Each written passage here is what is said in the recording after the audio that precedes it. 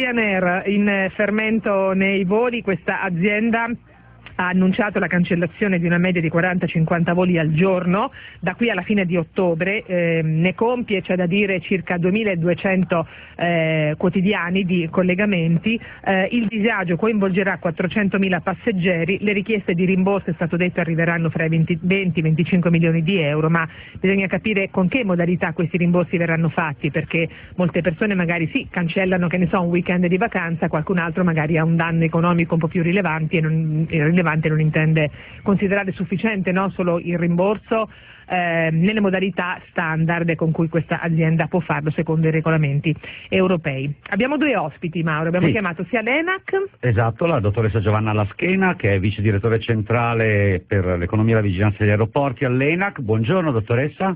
Buongiorno. E poi abbiamo anche l'avvocato Carmelo Calì, legale della Conf Consumatori. Buongiorno avvocato. Esatto. Tra Buongiorno a voi e agli ascoltatori. Sono felice di farti conoscere l'avvocato Calì perché è anche presidente di Conf Consumatori Sicilia ed è praticamente un'associazione dei consumatori che eh, vigila veramente in maniera ossessiva tutta la questione viaggi estivi. Hanno uno sportello proprio eh, allestito, vero avvocato Calì, a Catania. Però ecco, questa emergenza qua vi scoppia alla fine dell'estate, quindi magari siete anche un po' più tranquilli, detto ciò è anche piuttosto rilevante, adesso ne parliamo però.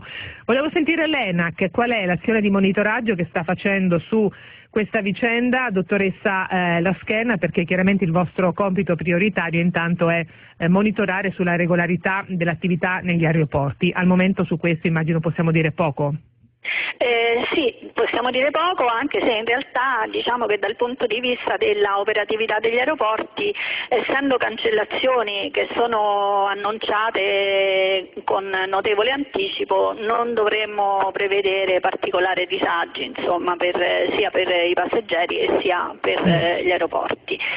Eh, certamente ehm, eh, alcuni, cioè, ci sarà un numero, come avete detto, di passeggeri che eh, non potrà utilizzare appunto, i servizi della compagnia che cancella e eh, quindi da parte di ENAC senz'altro eh, cioè, si monitora la, che tutto avvenga, che eh, comunque le misure di riprotezione e quindi eventuale possibilità per il passeggero di utilizzare un altro volo, sempre della compagnia o di altre compagnie, o comunque il biglietto, eh, il rimborso del costo del biglietto siano fatte in maniera regolare, eh, così come sono previste dalla normativa del regolam dal regolamento 261 del 2009 che è un regolamento europeo proprio che regola appunto eh, i casi di negato imbarco, cancellazione oppure eh, overbooking. Certo.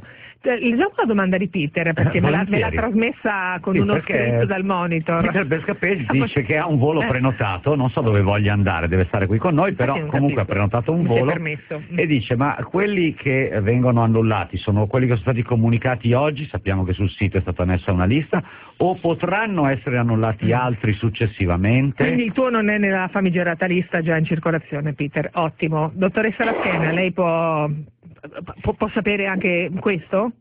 Sì, cioè mm. il, i voli sicuramente la compagnia può decidere anche di annullarne altri, cioè la cancellazione è una pratica che eh, è una pratica legittima nel, ambito, nell'ambito del mercato europeo che è un mercato liberalizzato, certamente deve avvenire alle condizioni eh, che sono previste dalla normativa, quindi con eh, una tempestiva informativa al passeggero e con eh, il rimborso del prezzo pagato per il biglietto o eventuale riprotezione ed eventuale compensazione pecuniaria nei casi in cui, possa, mm, cioè in cui sia necessario mm, eh, pagare la compensazione. Ecco, dottoressa Laschena, la parola, l'aggettivo tempestiva fa mm. sorgere la domanda, ma se me lo dicono alla mattina alle 8 per il volo di mezzogiorno, è una comunicazione tempestiva? No. No, non è tempestiva perché non è, anzi è una comunicazione irregolare in quanto, viene, in quanto il regolamento europeo prevede mh, precisamente de, dei termini eh, che, che comunque insomma, sono 20 giorni prima eh, oppure 7 giorni prima a seconda diciamo, certo. del, delle varie del, del, tipo di volo. Quindi Peter tieni a mente queste due cifre, 20 e 7, 20 giorni prima e 7 giorni prima. Qualora la compagnia non rispetti le modalità di comunicazione adeguata... Chiedere una cosa ancora alla dottoressa Laschena, ma questo allora è sempre possibile che il volo venga in qualche modo annullato o sostituito, ma fa specie che ci sia stata questa massa di voli sostituita. A questo punto voi come ente nazionale potete proporre qualcosa, predisporre qualcosa, censurare, avete poteri di sanzione sulla compagnia? Eh, allora, mh, mm, eh, sanzione per eh, la decisione di cancellare questo numero così ingente di, di voli? No, sicuramente. Tra l'altro, eh, essendo una compagnia di, con licenza irlandese, la compagnia è soggetta alla, al controllo da parte della, dell'autorità dell'aviazione civile irlandese, quindi da parte nostra come autorità italiana non eh, possiamo intervenire sulla, sulla compagnia. diciamo che la pratica della cancellazione è dovuta ai fattori che voi avete richiamato, quindi sono sicuramente fattori eccezionali che intervengono in questo momento, anche se mh, generalmente nei periodi che noi chiamiamo di spalla, cioè diciamo subito dopo o subito prima del picco estivo, eh, avviene la, la, la, pratica della cancellazione in quanto mm, magari i voli non sono così pieni e quindi la compagnia eh, adotta questa scelta di tipo commerciale di cancellare. Mm-hmm. Certo non è questo il caso perché il numero dei, dei voli cancellati è mm, sicuramente notevole. Mauro, c'è un ascoltatore che scrive anche, ma possono essere cancellati anche i voli in vendita adesso?